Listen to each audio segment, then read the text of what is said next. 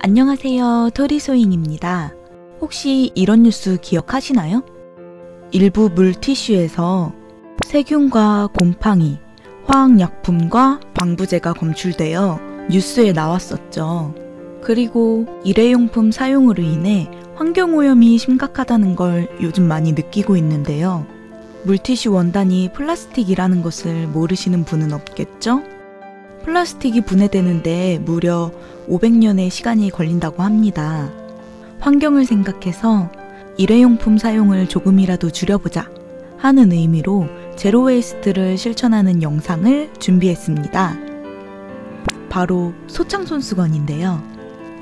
소창은 잔먼지를 일으키지 않아 아토피, 피부염, 비염 등에 약한 분들이나 내 아이에게 만들어주면 더 좋겠죠?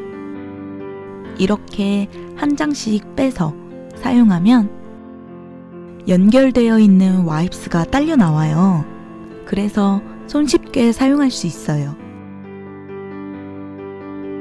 소창 손수건 파우치를 자세히 살펴볼게요. 파우치 안에 소창 손수건을 넣어 사용하는데 여기 중간에 겉감 원단으로 막혀 있어요. 파우치 뒤에 보면 사용한 와이프스를 넣어 보관해도 중간에 원단이 막혀져 있기 때문에 사용 안 한 와이프스가 오염되지 않습니다. 바로 준비물 알려드릴게요.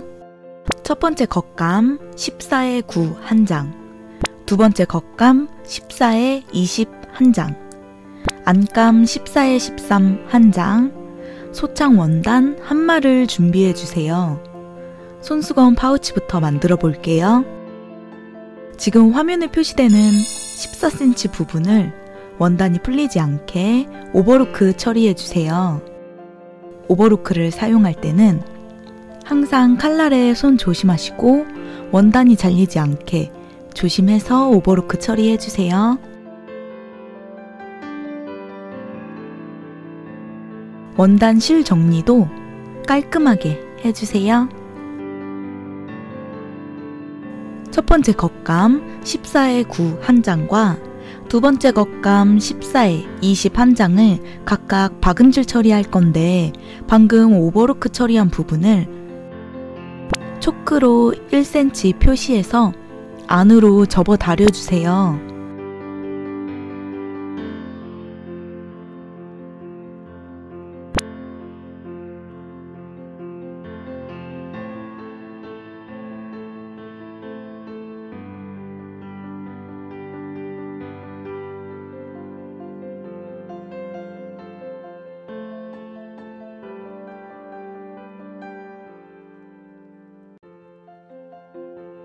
그런 다음 시접이 벌어지지 않게 0.2cm로 박음질 처리해주세요.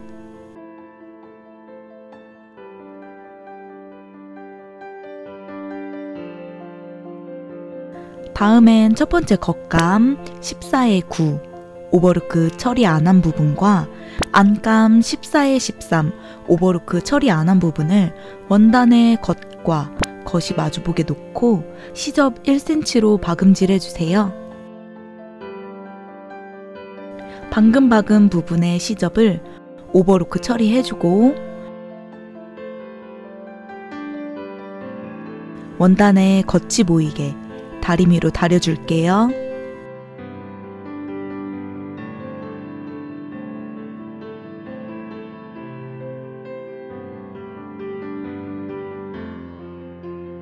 주의할 점이 있다면 뒤에 있는 원단이 앞쪽에서 봤을 때 안 보이게 다려야 합니다. 겉감 원단을 펼쳐주고 안감 원단 쪽을 봐주세요. 여기 박음선 아래로 0.8에서 1cm 정도 띄우고 두 번째 겉감 14에 20을 위치해 줄게요. 그 다음 첫 번째 겉감을 원단의 겉쪽으로 넘겨주세요. 두 번째 겉감, 여기 아래에 있는 원단을 위쪽으로 접어 올려주세요.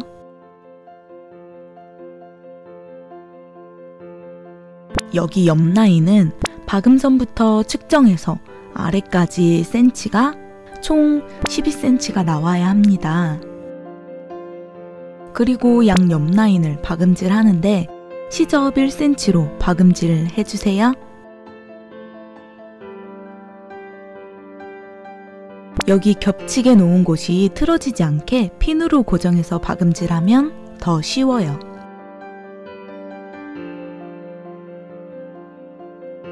그리고 여기 옆 라인은 원단이 풀리지 않게 오버루크 처리해 줄게요.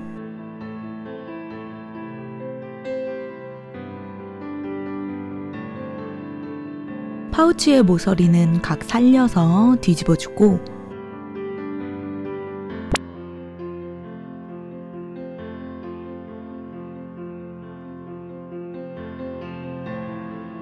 파우치는 다리미로 쿡쿡 눌러 다려주세요. 파우치를 벌려서 여기서부터 끝까지 스티치를 넣어줄게요. 스티치는 0.2cm로 처리해주세요.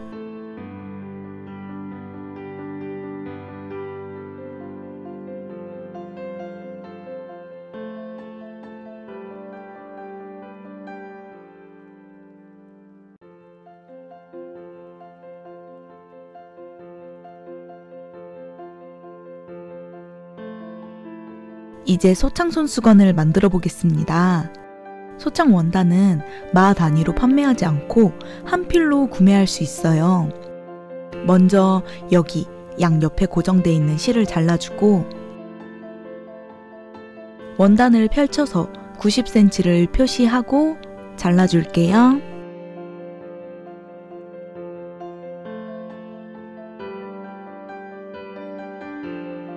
소창 원단이 살짝 구겨져 있는데 다리미로 다려주세요. 원단을 반으로 접어서 13cm 되는 곳에 초크로 표시를 각각 해주고 표시한 선을 가위로 잘라주세요. 그러면 와이프스가 7개 정도 나오죠? 원단을 보면 골선인 부분 빼고 양옆 라인과 위에 부분은 시접 1cm로 박음질 해줄 거예요. 여기 위에 원단을 뒤집어줄 창구멍 5cm 정도 표시해주세요. 박음질 할 때는 원단이 움직이지 않게 핀으로 고정해주세요. 그리고 박음질 하는데 창구멍 부분은 빼고 박음질 해줄게요.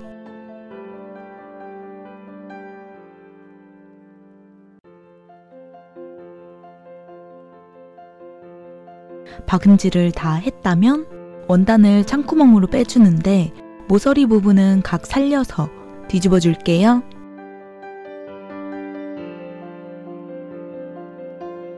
그리고 원단을 살짝 다려주세요.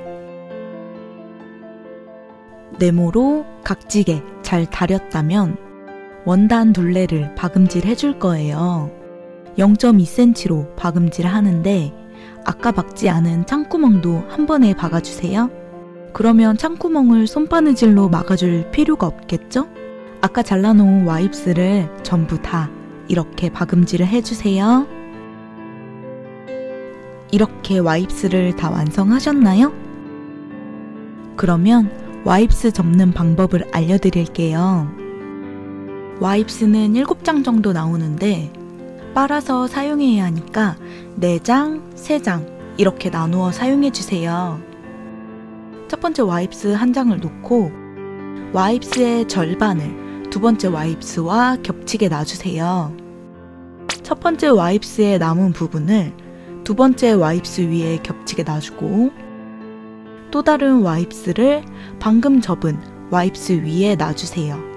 두 번째 wipes 남은 부분을 방금 놓은 wipes 위에 겹치게 놔주고 또 다른 wipes를 방금 접은 wipes 위에 놓고 여기 남은 부분은 접어주고 마지막 남은 부분도 이렇게 덮어주면 끝입니다.